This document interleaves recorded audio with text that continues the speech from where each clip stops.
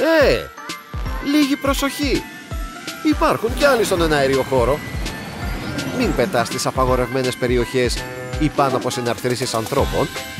Και τα μάτια σου στο drone είναι ευθύνη.